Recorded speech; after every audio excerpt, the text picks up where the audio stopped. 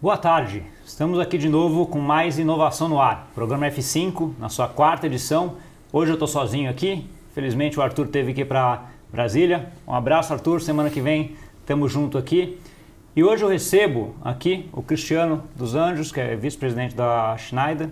Né? Boa tarde, Cristiano. Boa tarde. Para a gente discutir sobre IoT.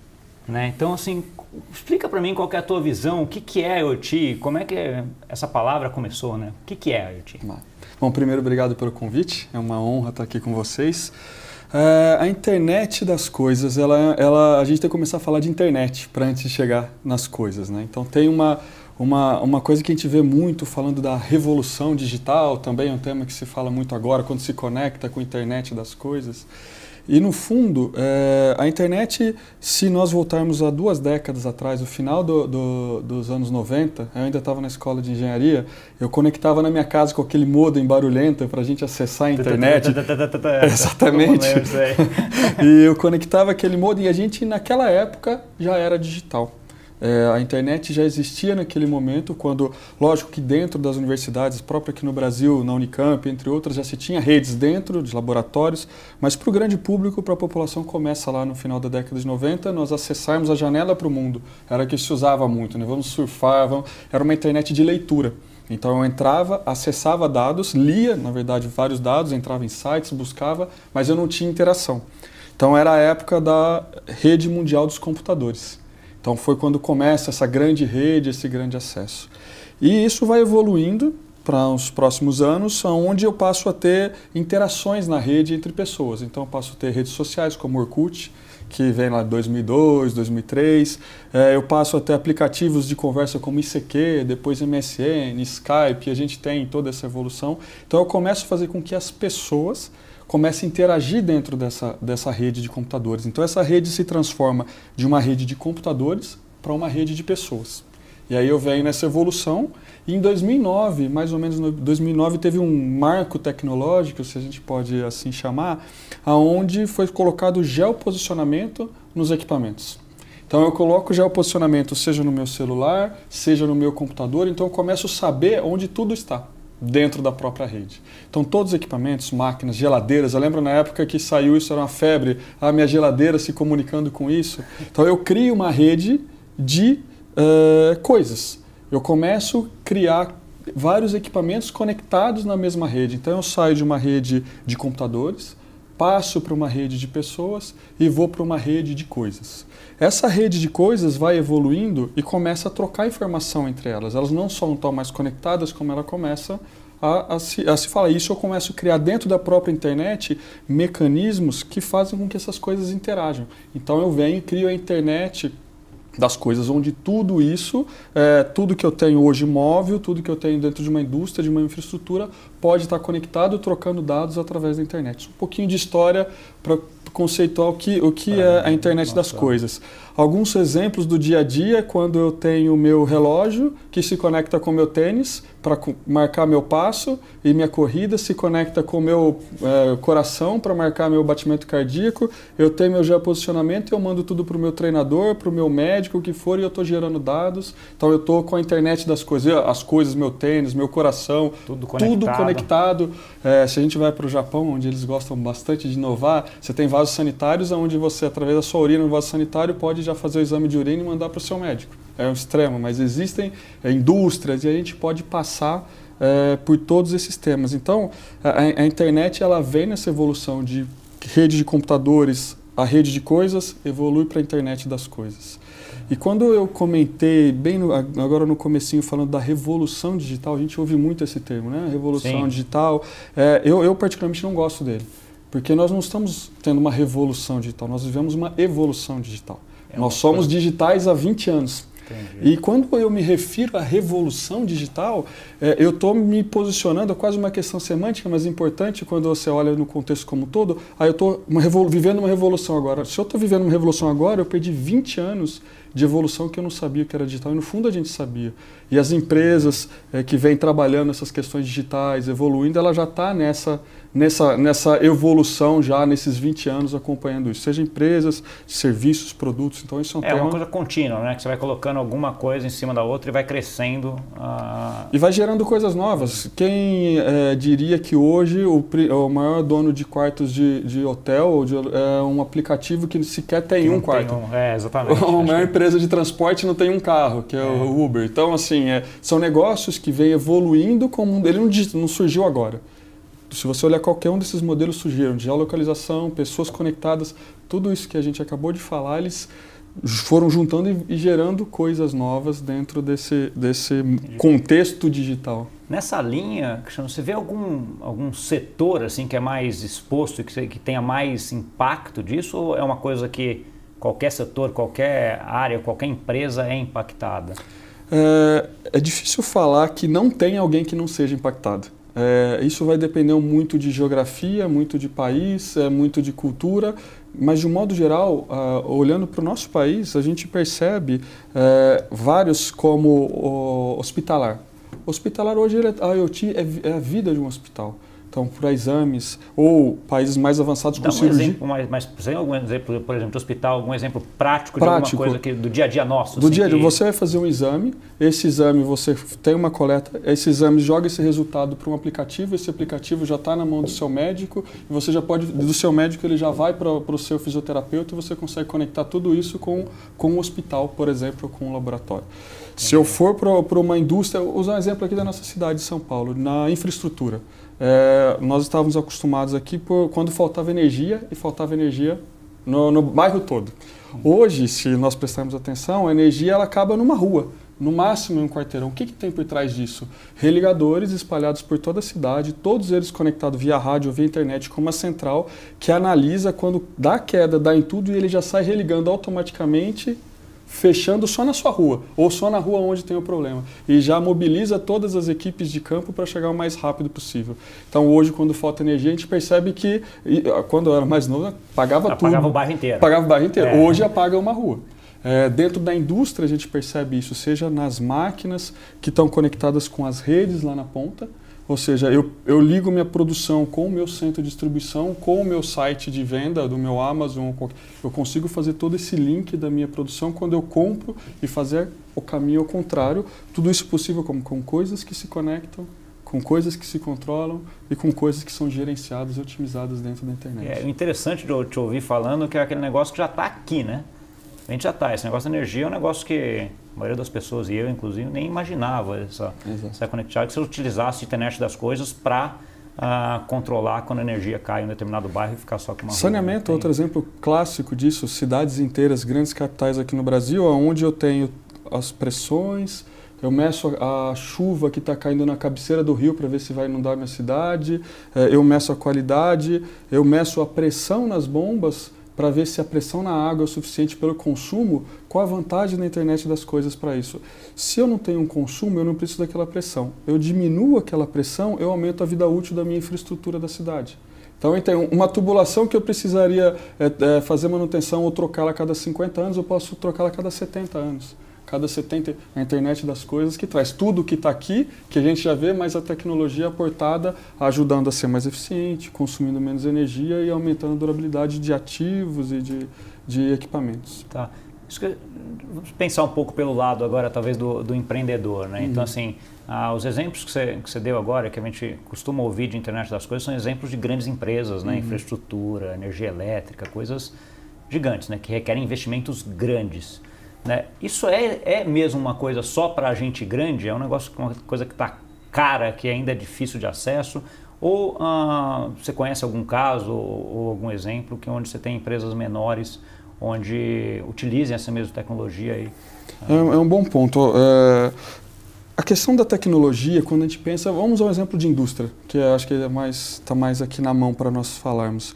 É, uma indústria, ela é, me usar como exemplo. Eu compro o que eu quero aonde eu quero para entregar a qualquer lugar que eu quiser, através do meu celular.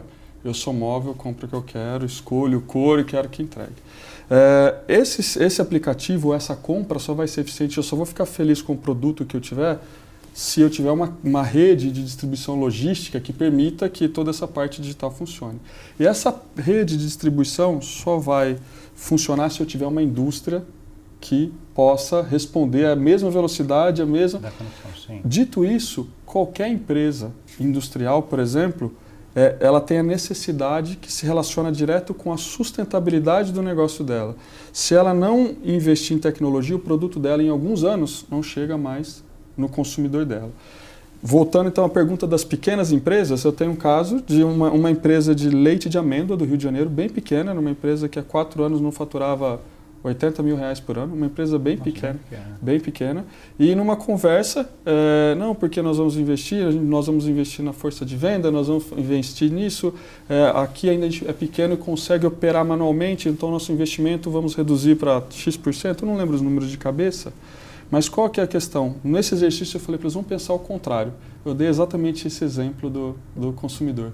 Seu produto vai chegar na loja que você quer, a pessoa vai querer comprar o seu produto no mercado, digitalmente, qual que é a sua estratégia digital para que o seu produto chegue lá? E a gente fez esse exercício, esse caminho ao contrário, essa jornada só que do, do, do cliente, porque normalmente é, quem está começando, quem, quem tem a ideia, é apaixonado pela sua ideia é. e pensa no... Mas vamos pensar, vamos fazer exercício ao contrário, vamos trazer, e a gente fez esse exercício até chegar na indústria.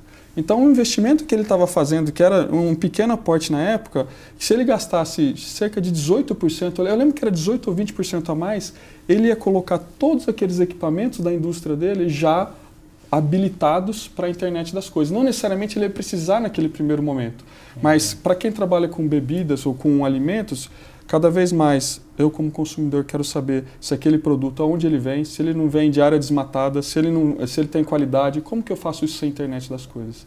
Como que eu faço isso sem medir, eu saber de onde vem a semente, qual terra que ela foi plantada, como ela foi transportada, como ela foi produzida. Então essa cadeia, quando eu falo de, de tudo isso, de internet das coisas, e eu é, sempre tenho falado desse tema, é o pequeno empresário, seja qual o negócio dele, produto ou serviço e qual segmento ele precisa disso, porque ele vai precisar para ser sustentável, ele não vai conseguir alcançar no mundo hoje rápido de tudo que eu preciso, eu não consigo alcançar o meu consumidor sem auxílio da tecnologia, eu preciso disso e eu preciso garantir que meu produto chegue, que o meu consumidor veja o meu produto lá na ponta. Então, é, se você olha os investimentos que são feitos, se eles tivessem sido feitos é, com um mapa no começo para onde, quem ele quer chegar lá na ponta, ele ia ver que a estratégia digital, sem ela, ele nem começaria o negócio dele. Então, é sim uma necessidade. Poucas pessoas no Brasil olham. É, eu tenho é, várias experiências é, no, no, Oriente Médio, é, na China. Regularmente vou à China fazer experiências digitais, conhecer é, empresas digitais. E lá a gente percebe que qualquer negócio, qualquer coisa que esteja saindo, ele é 100% digital. Pelo menos uma estratégia clara de digitalização, de IoT, para poder conectar essas coisas. É, porque ele é bom para os dois lados, né? Ao mesmo tempo que para quem está, para o consumidor que está comprando, ele sabe a procedência e toda a cadeia que foi passando ali, para a empresa também ela consegue ver o fluxo para frente daquele produto que ela tem, né? Porque não é que ela vendeu lá para um distribuidor e depois ela não sabe, né? Então, assim, quando ela consegue acompanhar o produto dela até a casa do, uh, do usuário, é o melhor dos mundos, né? E aí vem uma pergunta que é mais uma curiosidade, assim, uh, queria ver a tua visão um pouco. Assim, uma das coisas que, uh, exemplos de IoT que a gente sempre vê é aquele negócio que você está lá na tua geladeira, tira lá a tua cerveja, ele já avisa o caminhão da Ambev lá, ou da empresa de cerveja que seja, para entregar ou na sua casa, uma coisa, uma coisa já automatizada. Uh, isso é uma coisa que acho que a tecnologia hoje já permite, né? Sim. Mas uh, pelo menos aqui no Brasil que eu saiba, não vi nada nesse, nesse sentido. Você acha que é uma coisa que já está aqui ou é uma coisa que ainda vai demorar? Para alguns segmentos eu, ela já está aqui. É, para algumas áreas de nicho específica ela já está aqui. Então no mercado gente, eu citei o exemplo de leite de amêndoa, mas outras coisas nesse tipo de mercado onde você tem um público muito específico, sim. É, para a grande rede de distribuição, ainda a gente tem outros problemas para endereçar antes, que são as questões logísticas, infraestrutura que o país tem. Por mais que a tecnologia te permita, e a tecnologia está aí disponível para que você possa fazer isso, é, ainda tem alguns outros desafios para serem vencidos porque senão eu faço um aporte tecnológico e o que frustra muitas vezes os empresários brasileiros é isso. Eu faço um aporte, seja, mais uma vez, produto, serviço, onde eu esteja, e alguma coisa trava antes e não, e não, permite que todo aquele investimento que eu fiz tire o máximo disso. Então, em termos de tecnologia, como, como, como você bem comentou, sim, mas é, ainda não é só no Brasil isso. Vários países, mesmo países como os Estados Unidos, ainda sofrem algum, algum, alguma questão, questão de logística, de distribuição, porque você tem hoje ativos, você tem centros de distribuição que estão lá 20, 30 anos que eu faço, eu jogo tudo fora e construo de novo. Sim. Então a gente tem, e isso está acontecendo em vários países, inclusive aqui no Brasil, uma modernização de tudo isso. Até falando um pouquinho desse tema que eu acho que é importante, é, é justamente é endereçar isso de uma maneira clara. Trazendo um exemplo, uh, Gustavo, de, um, de uma siderúrgica grande aqui do Brasil que eu estava participando de uma reunião com os executivos deles e uh, nós, uh, num determinado momento, falamos, ah, eu precisava modernizar, falar da indústria 4.0, manufatura avançada e todos os, os termos né, que se usa para falar disso. Depois a gente pode até, se tiver tempo, falar um pouquinho sobre isso. É, e foi, não, para você se elevar para esse nível, você tem que pegar todo o seu ativo, a sua máquina, o seu, era uma parte de um processo, e trocar por um novo. investimento de vários centenas de milhões de dólares. E ele comentando numa conversa informal, não, isso está acontecendo, a gente estava conversando de modo geral de futuro. Eu falei, não, mas isso aí não, é, isso não, não é verdade. É, você tem que entender o que você quer, a eficiência do seu equipamento já é suficiente para você. É, ah, eficiência é, mas eu preciso tirar mais isso, aquilo. Falei, a, a minha explicação foi bem simples. Toda jornada digital em IoT, tudo que eu falar, seja na indústria, na infraestrutura, o exemplo que eu uso é, é o Waze. Você sabe onde você está, e você sabe onde você quer ir. Você tem que saber isso. Sem isso, nem adianta começar. Mas, no caminho, pode ser que a rota mude um okay. pouquinho para cá. Mude. Por quê? Porque o projeto pode mudar, as necessidades podem mudar, ou podem aparecer tecnologias que te permitam mudar a sua. Você sabe onde você quer ir. Então, isso acontece muito aqui no Brasil também. A gente vê isso nos, nos empresários. Ah, mas eu já tenho isso. E aí, putz, eu tenho que jogar tudo fora e fazer tudo de novo. Não, isso não é a verdade. O ponto que eu é, aconselho para todas as empresas que eu tenho falado, com todos os executivos ou empresas de pequeno porte, como essa de leite de amêndoa, é tenha claro o que você quer, faça uma avaliação com alguém é, que conheça do tema, porque tem muita gente fala, a gente estava falando um pouco disso antes, né? É. Muita gente falando, traz uma, um, uma macro de Excel e está falando que está fazendo é, IoT. Então tem que colocar alguém que sabe o que tem, que você é, tem, olhar exatamente. Se eu estou falando de internet das coisas num prédio, igual esse prédio que a gente está aqui, você vai lá, escolhe andar, ele otimiza qual elevador vai te trazer, ele manda essa informação, reduz o consumo de energia, faz a gestão. Então eu preciso saber o que eu tenho. Se eu estou falando de IoT em um prédio, eu preciso saber minhas coisas estão conectadas, a minha iluminação, meu ar condicionado. Eu preciso saber como eu controlo. Então fazer uma avaliação, olhando sempre coisas que estão conectadas ou possíveis de conexão como eu controlo, e usando a palavra do, do mercado, é Apps e Analytics. Né? O que, que eu tenho em cima de software para fazer a gestão e a otimização de tudo isso. Então, tá. isso são, são pontos importantes para endereçar dentro é, do tema IoT. Uma outra pergunta, até curiosidade, assim, tem, uh, tem algum lugar do mundo que seja mais referência em relação a isso, que está ali na vanguarda, ou, ou, algum país, ou alguma área específica que você fala assim, essa aqui é onde estão surgindo as coisas mais conectados tem, e, e, por que, que é lá? É, tem, tem, na verdade, depende do setor. Hoje o país mais digital do mundo é a China. Disparado é o país, tanto que é onde eu invisto muito tempo fazendo essas imersões digitais, tanto em empresas ocidentais como orientais. Lá, por exemplo, o aplicativo que a gente usa para trocar mensagem aqui, que é o WhatsApp, o mais comum no nosso mercado, eles têm o WeChat. Só que o WeChat é tudo. Ele não só troca mensagem, inclusive. Meio de pagamento. Eu pago com o é. meu QR Code. Se você precisar de 10 reais, eu te dou 10 reais através do meu. Do meu. Inclusive, com o WeChat, eu consigo fazer o que aqui a gente não vê em, tão pouco nos Estados Unidos e grandes praças, o online e offline. Tem uma pessoa na rua vendendo couve com QR Code. Então eu pego uma coisa totalmente offline, integro no mundo IoT com o meu WeChat, pago e levo a couve. Então é, eu ando de bicicleta, eu pego o guarda-chuva, é, é um país muito digital em tudo que faz. E por que essa digitalização? Porque é competitividade para indústria ou para qualquer setor. Eu ganho eficiência, eu ganho produtividade, eu ganho na chegada do meu produto. Então a China anda na frente é, de, da maioria dos países por vários motivos, por educação, por investimento, por mão de obra disponível, por vários países. Em termos industriais, a Alemanha, como sempre, vem caminhando. É, é, essa parte, esse tema, até termo indústria 4.0 surge na Alemanha com, com empresas alemãs. É, só que esse, isso avança por todo o mundo, né? então a gente vê hoje na Itália, a gente vê nos Estados Unidos e até aqui no Brasil é, a, a, se falando muito da, da indústria 4.0, mas é uma coisa que vem, vem da, da Alemanha muito forte. A Itália é um outro país que investe na parte de máquinas é, muito pesado. Então você vai para cada nos países escandinavos na parte de infraestrutura e cidade inteligente, aonde eu, eu consigo é, ter minha infraestrutura, minha polícia, é, minha eletricidade, tudo isso conectado. Então é difícil falar de um país específico que está fazendo alguma coisa. Se fosse colocar um grande marco, seria a China. A China está construindo uma cidade para 10 milhões de habitantes totalmente inteligente, do zero, construindo inclusive com controle de ar.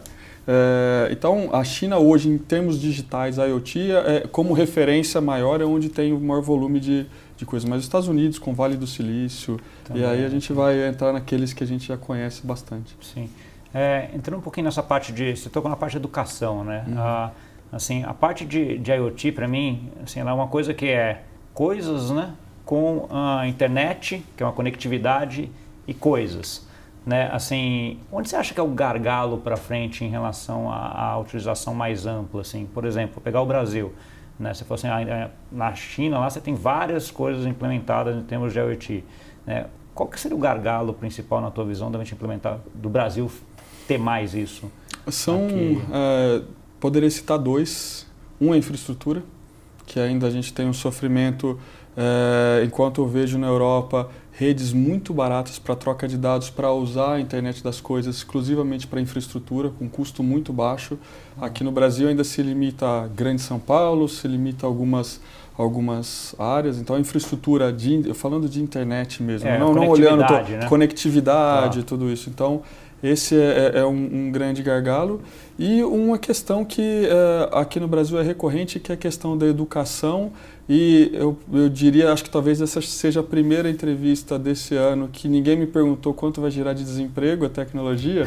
Mas 99,9% das vezes, ah, mas isso daí vai gerar desemprego. Se a gente olhar as estatísticas, os países que mais têm tecnologia, como Alemanha, como Coreia, como China, são os países que menos têm é, é, desemprego. Por que isso? Porque tem uma transição da mão de é, obra que passa pela base da educação. Então, para mim, é, infraestrutura para conectividade é um tema que é relevante é, e também a questão da educação, mas uma educação de verdade, sem a gente ficar naquelas discussões que muito politizadas. É, é, é, um negócio mais. Mas é. porque aí eu vou fazer a movimentação dessa, dessas pessoas hoje que fazem o papel do robô. Robô tem que fazer o papel de robô e ser humano tem que fazer o papel do ser humano. então é, eu tenho que e é tirar a pessoa. feliz para todo mundo, né? Então assim ninguém gosta lá de ficar. Costuma usar até exemplo do Charles Chaplin, né? De ficar ali apertando o parafuso, que você chegava em casa apertando o parafuso. Acho que nenhum ser humano gosta de, de, fazer isso. Usar a cabeça, pensar. E, e, até por conta disso a gente não tocou nada em emprego, porque eu sou da opinião também, exatamente igual você, uh, de que isso aí vai ter só uma migração. Não. Né? Assim, as pessoas que fazem o trabalho manual, etc., o robô vai fazer muito mais eficiente, muito melhor, etc. Mas as pessoas vão se reinventar, né? vão fazer outras coisas mais uh, inteligentes. Um outro ponto que você citou, acho que são, são dois exemplos interessantes, aí, tanto na parte de energia elétrica como na parte de de saneamento e depois associando com a sustentabilidade dessa, uh, que essa tecnologia usa, você acha que ela vai ser uma tecnologia que vai ser uma tecnologia que vai ajudar a população de modo geral, vamos dizer assim, ou pouco? Por que, que eu estou falando isso? Quando a gente vê a parte de uh, IoT, você acaba tendo a internet das coisas, etc. Você falou assim, aqui a gente tem alguns nichos que você tira lá da geladeira, já avisa e te entrega em casa. Isso é para uma minoria ainda, Exato. né? porque ah, até pelo fato de ser nicho. Ah, isso é uma coisa que deve se expandir e aí todo mundo vai ah, se favorecer?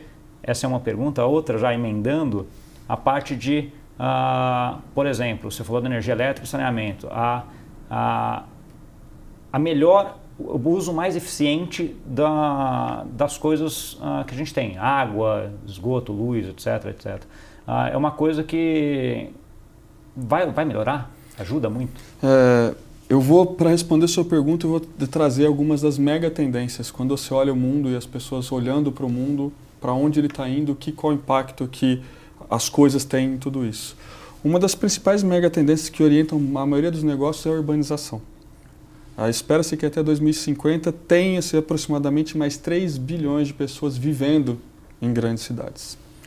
Então, mais gente, preciso de ter um trânsito mais eficiente. As cidades hoje que foram projetadas para carros, elas vão ter que mudar, elas vão ter que ser projetadas para pessoas, porque essa foi a, construção.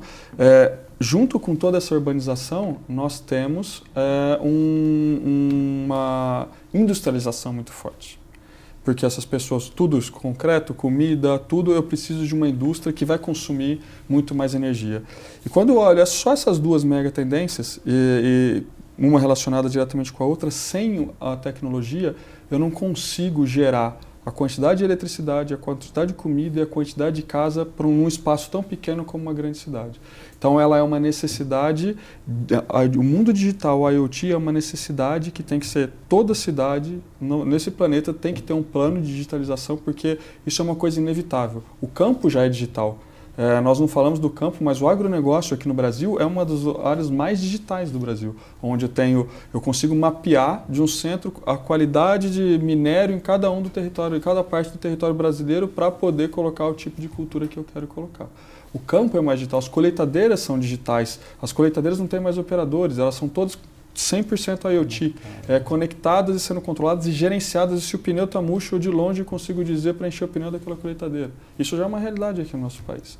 Então, esse povo do campo que não tem mais emprego e que está se movimentando para as cidades, não só por emprego, mas por melhoria de qualidade de vida e cada um é, é, é busca o seu caminho novo nas cidades, ele vai puxar isso. E sem eu ter tecnologia para me fazer mais eficiente, para me fazer consumir, porque os recursos naturais diminui.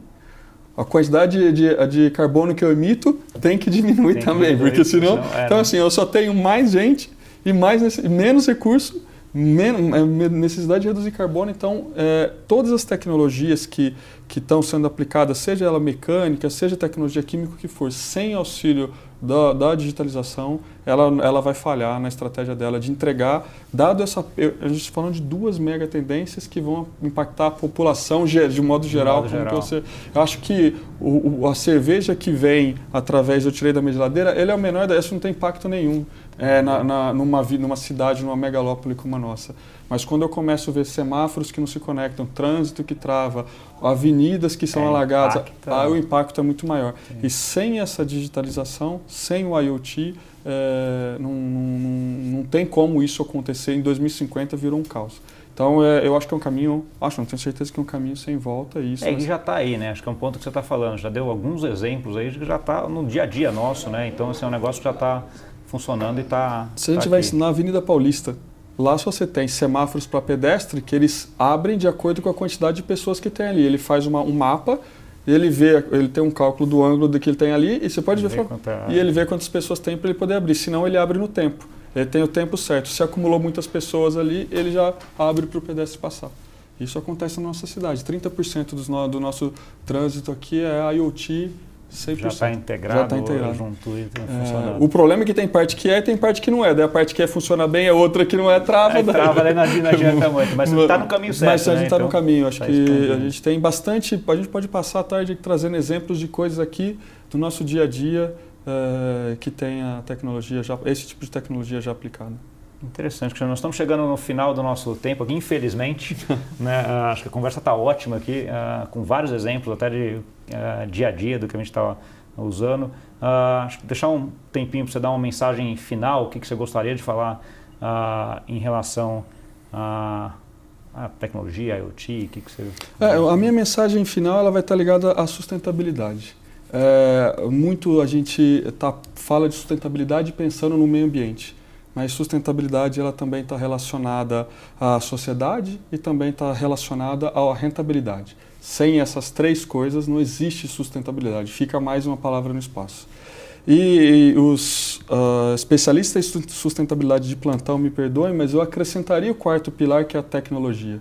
Porque sem o IoT eu não vou conseguir ter nenhuma empresa e nenhum negócio sustentável.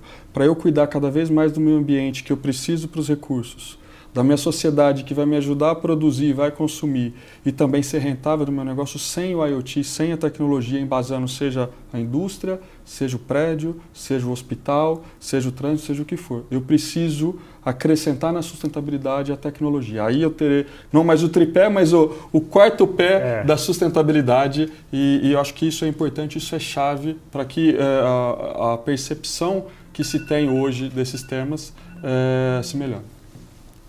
Tá ótimo. Xanô, muito obrigado. Uh, prazer aqui a, a nossa conversa. Para você que nos viu hoje, uh, uh, muito obrigado pela audiência. Uh, foi um papo aqui muito aberto, muito show, com vários exemplos aí de como é que a IoT já está impactando a nossa vida. obrigado e até a próxima semana.